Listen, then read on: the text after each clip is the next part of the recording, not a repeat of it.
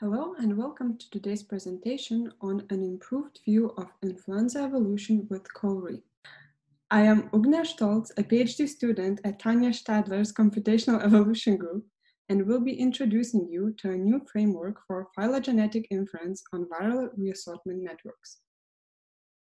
It is based on a recent publication by Nicola Müller, Tim Vaughan, Tanja Stadler, Gytis Dudas, and me, which focused on reassortment patterns of human influenza viruses. First, I would like to introduce you to the concept of viral phylogenetic networks in the context of reassortment. Here we see a blue infected host. Going forward in time, they come into contact and infect the green person, who subsequently infects the red person. Then we can obtain viral sequences from all these individuals. In practice, this is usually where we start. That is, we observe infected individuals and collect viral sequencing data from them. Since viruses typically accumulate mutations rapidly, we can construct their phylogenetic tree using a coalescent model, starting at the samples and going backwards in time. Then coalescence of two viral lineages can be viewed as approximation of the transmission event, shown here. However, these phylogenetic trees cannot fully capture the evolution of segmented RNA viruses, for example, influenza or, or Lassa virus. Their genome is comprised of several distinct RNA molecules called segments, and during co-infection of the host cell, there are able to exchange these genetic segments during a process called reassortment. Here you see two parent viruses with three segments each, co-infected, co-infecting a single host cell. During the viral replication cycle, each of these three shown segments is replicated separately before being repackaged into a new viral particle. Since segments of both parent viruses are being replicated, they might mix during the full genome assembly and thus create a new hybrid progeny. In our toy example, imagine that the red person came into contact with both green and blue hosts. Then its cells carry two distinct viral variants and through reassortment produce a novel viral strain. As you can see, in order to depict the situation, we had to modify the tree by connecting blue and red lineages by a vertical line shown here, and thus having a network. Therefore, having our toy example in mind, we can say that evolutionary analysis of reassorting viruses requires networks, not trees. In order to infer such networks, we need an evolutionary model we have extended the Kingman's coalescent process for trees to include reassortment of viral lineages. In this phylogenetic network model, ancestral lineages carry genomic segments, here shown in three colors, of which only a subset may be ancestral to sampled viral genomes. Here they are depicted in solid lines which show the embedded trees of the segments. Network lineages coalesce with each other backwards in time, as shown here by the coalescent events. At reassortment events, a random subset of segments follow each new lineage. For example, here, the green segment follows left parent, while the other two segments follow the right parent. This allows us to infer reassortment networks and the embedded segment trees for sampled sequencing data. This model is implemented in a CoalRe package which is available as an add-on for phylogenetic software Beast2.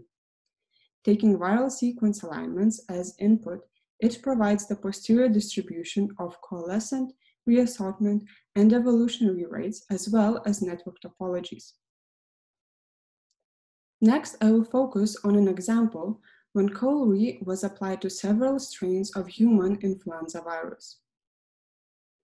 As mentioned, influenza is a segmented virus and is comprised of eight genomic segments.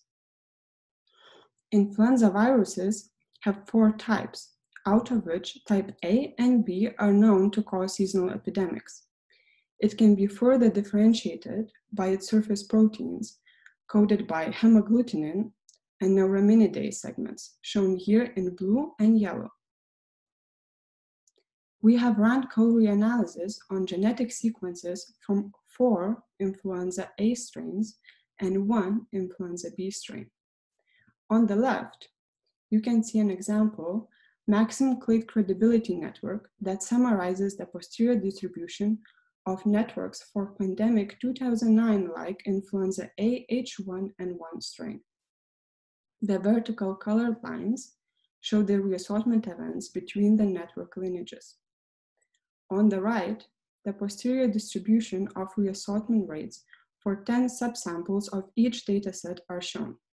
As you can see, significant differences in reassortment rate can be observed between influenza viruses. Next, we compare the uncertainty in node height estimates obtained by CoalRe or the model which assumes that each segment codes for an independent realization of the same coalescent process and thus does not account for the assortment.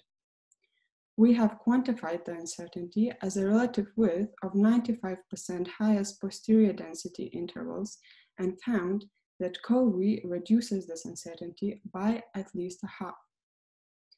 Posterior clade credibility support was also higher for CoalRe. Therefore, accounting for reassortment events reduces bias in influenza inference. Lastly, the posterior distribution of rates obtained by CoalRe or assuming independent segments were significantly different assuming independent segments and therefore non, not accounting for reassortment, leads to lower effective population size, seen here, and thus increased coalescent rates, which are inversely proportional. In addition, not accounting for reassortment also leads to higher evolutionary rates. Next, I will show you a quick introduction on how to set up your own inference with CoalRe. I will assume that you have the required resources installed. You may find their location in the description of this video.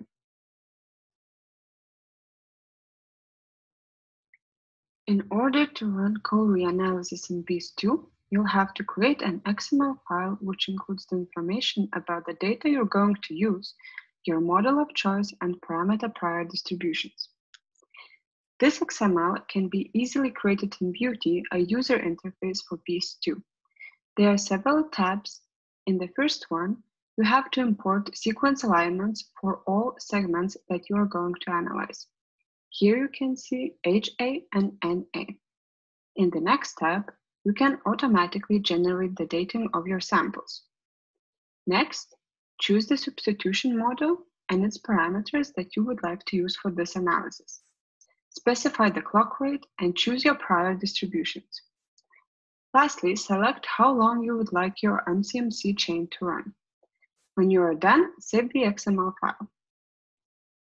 Use this XML file as input to BEAST and run the analysis. Once it is done, in your output directory, you can find several log files two segment tree log files, one log file for the posterior distribution of networks, which embeds the segment, segment trees, and finally, a log file for the summary statistics of the network as well as samples from the posterior distribution of its parameters. This log file can be viewed with Tracer application that is provided together with BEAST and allows to inspect the logged summary statistics and posterior distributions. Finally, you can summarize the posterior distribution of networks into one maximum clade credibility network. This can again be done from BEAUti application. Select File, then Launch Apps. Then in the App Launcher, choose CoalRe and Reassortment Network Summarizer. Once you launch this app, provide your log files and analyze them. After it is completed, you will have one more log file which contains the maximum clade credibility network.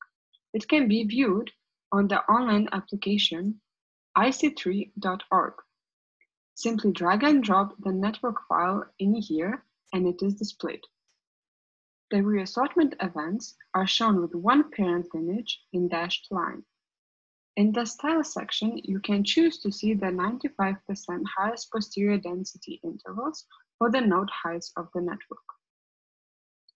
If you would like to know more about setting up the CoalRe analysis in BEAST 2, visit tamingthebeast.org website where you can go through the detailed tutorial with the same data I have used today.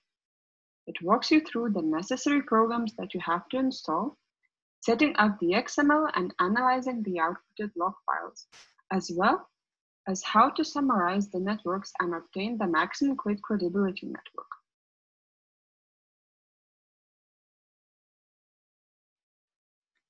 The tutorial concludes my talk today. Thank you all for joining.